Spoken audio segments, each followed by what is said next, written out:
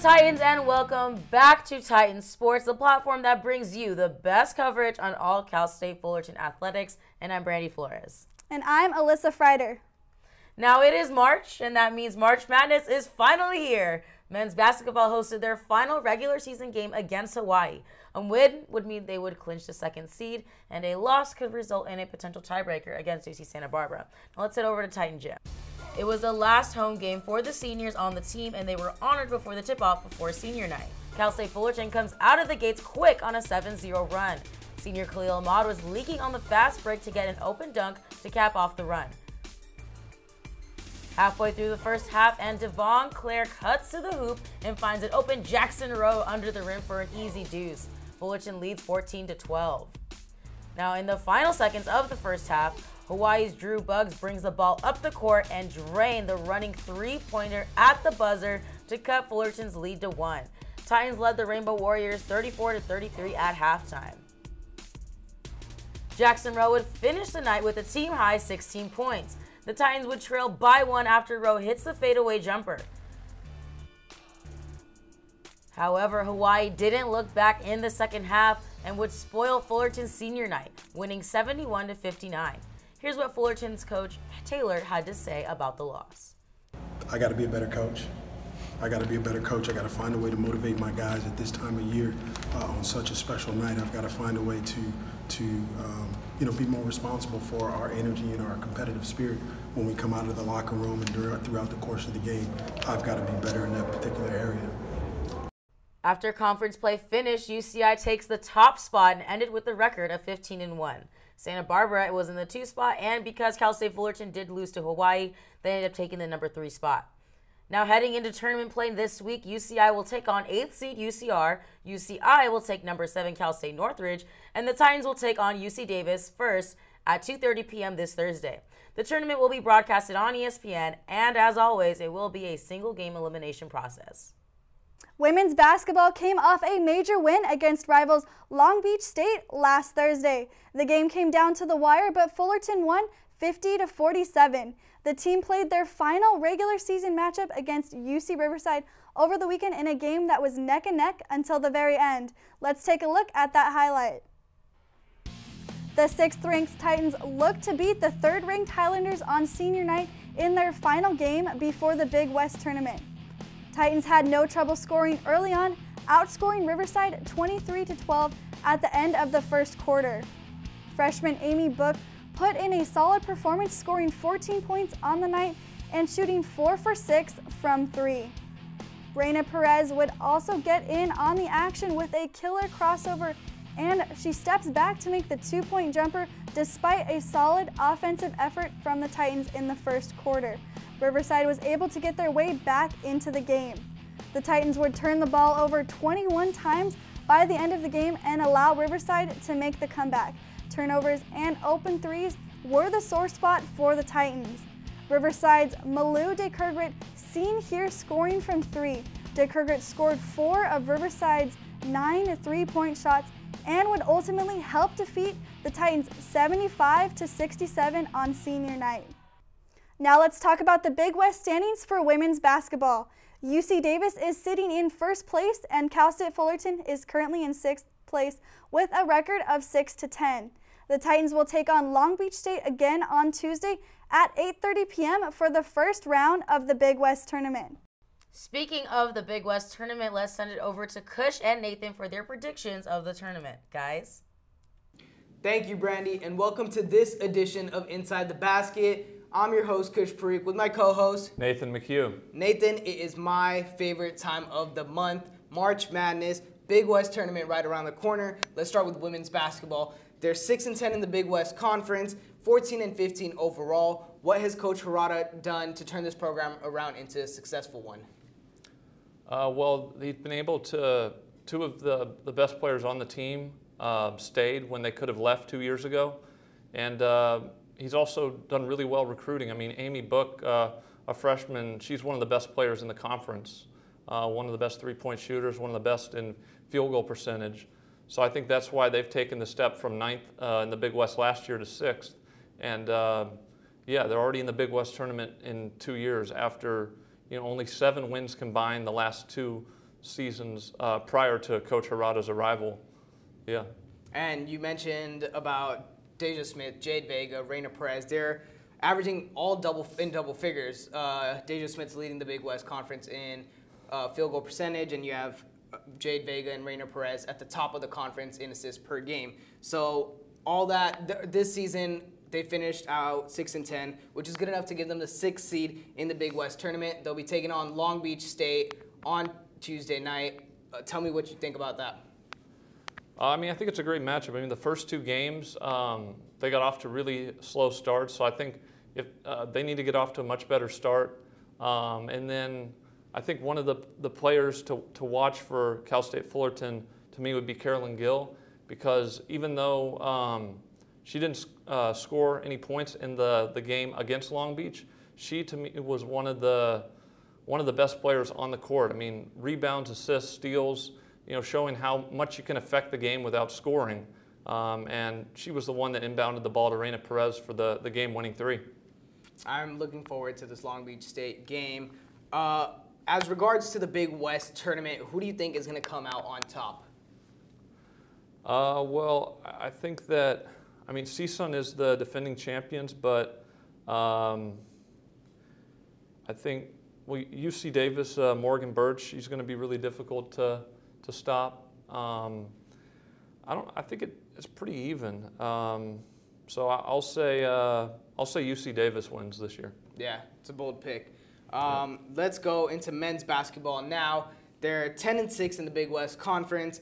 All, as we know, they had a rough preseason schedule, turned it around in conference season.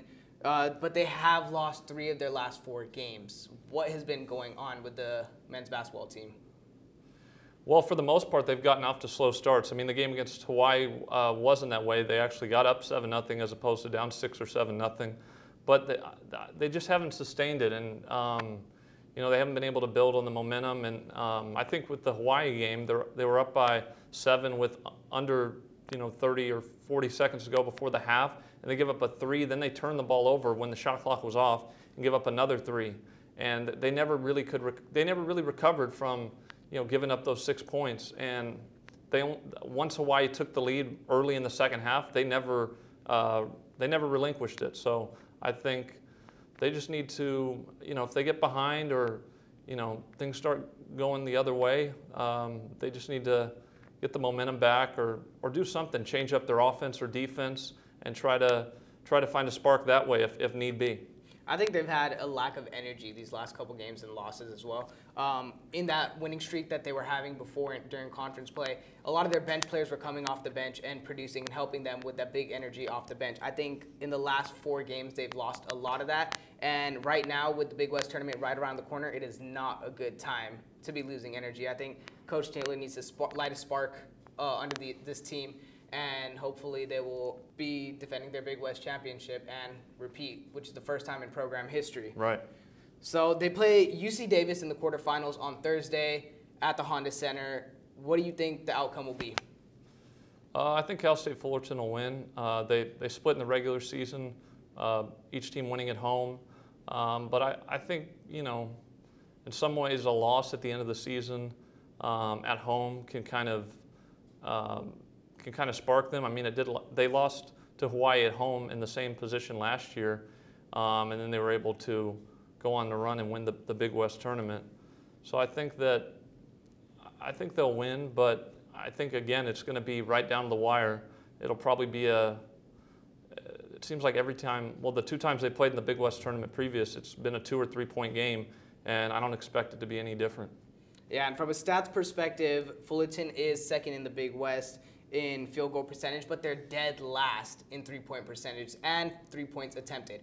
Running a three guard lineup as they do a small ball lineup, you'd expect them to take more threes, but I think taking it inside the paint and not having the size to take it in the paint, I think it's making them really one dimensional, which may right. be why teams are adjusting their game plans to the team. So hopefully, Coach uh, Taylor can do something different because guys like Wayne Arnold, Josh Pitts, and Jamal Smith, who actually has been stepping it up during this losing streak. I've liked what I've seen from him, um, shooting the threes, being more aggressive, taking it to the rack, dishing it out to open players, that type of stuff.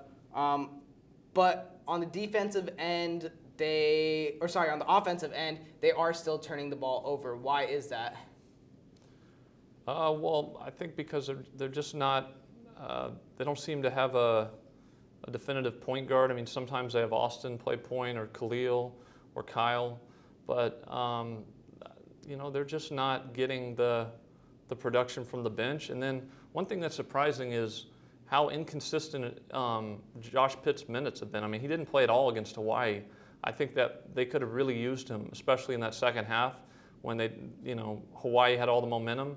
Um, I don't really understand why your best, you know, low post, uh, you know, center or big doesn't play at all in a, a crucial game that determines seeding at the end. Yeah, and looking on, I, I agree with that. And looking onto the defensive side of things on the stat sheet, they are third in, in the Big West in defensive field goal percentage and second in um, three point percentage, giving opponents three point percentage. So their defense is there, but they're still allowing the sixth most points in conference. Why is that?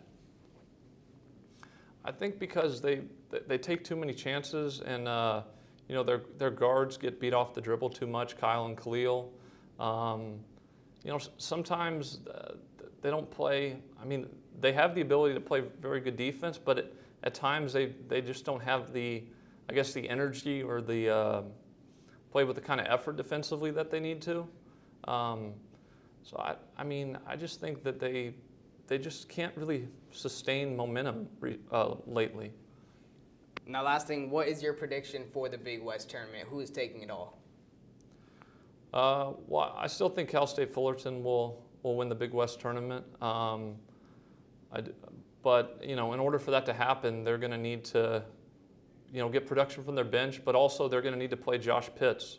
Um, you know, you know, meaningful minutes. I mean, maybe even start in one game. I think they they need to control the paint, and then that'll lead to more open threes. And they need to be uh, not as passive when they get open threes, not look to drive.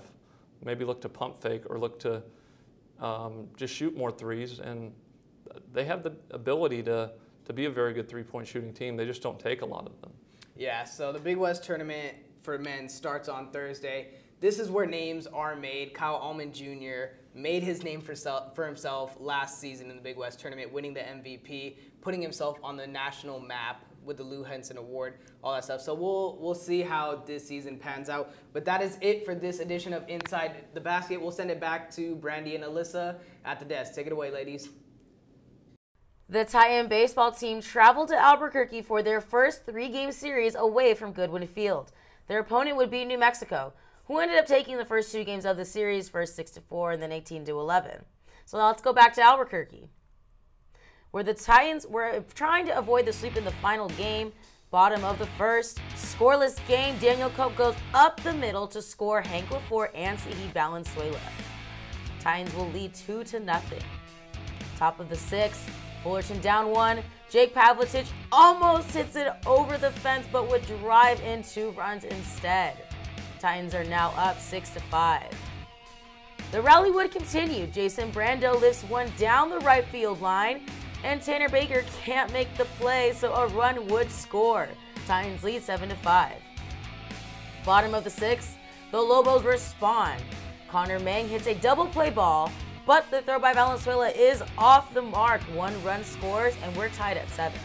Top of the seventh, Isaiah Garcia with a runner on sends a two-run shot to the parking lot in left field, and the Titans wouldn't look back from there.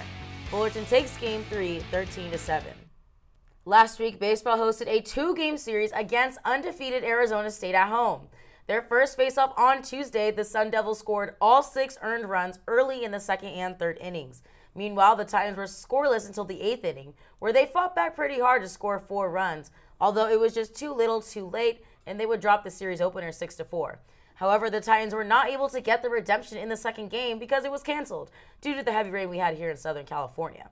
Hank LaForce was able to continue his on base streak with a walking earned in the sixth inning. He is currently leading the country, having been on base 55 straight games. His current on base percentage is 386, and he is hitting 333.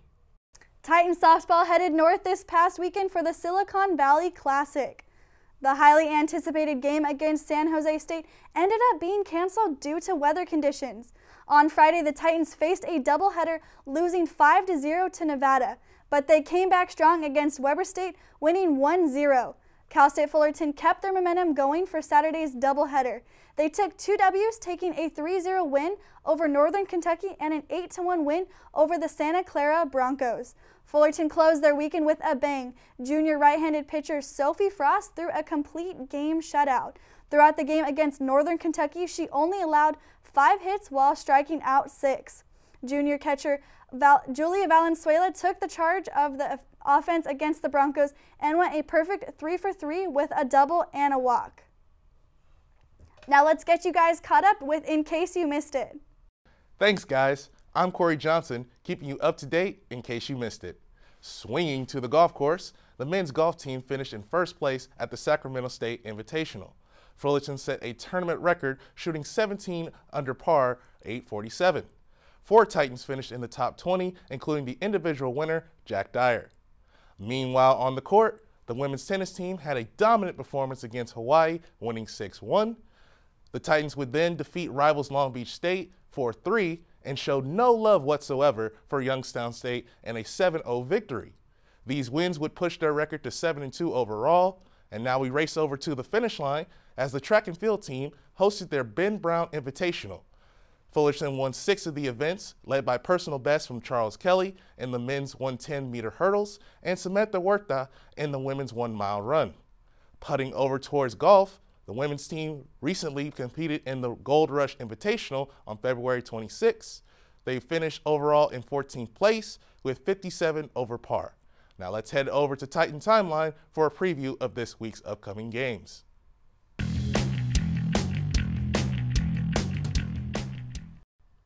Thanks, Corey. What's up, guys? I'm Curtis Redmond, and let's check out some of the upcoming games with this week's edition of Titan Timeline. Starting off on the diamond, the baseball team will begin a four game homestand against USC on Tuesday, and then finish the week with a three game series against James Madison. Swinging on over to the fairways, the golf team will travel up to San Francisco to take place in the two day Olympic Club Intercollegiate. Throwing it back to the circle, the softball team is back at home as they look to keep their three game win streak alive against Houston. They will then play four games in four days as they host the Easton Invitational Tournament, where they will play Boston University, Harvard, DePaul, and then finish off with the College of Charleston. Serving it over to tennis, they look to build on their five game win streak as they host the University of Pacific on Wednesday. They will then travel to Cal State Northridge, where they will continue conference play as they currently sit in first in the Big West.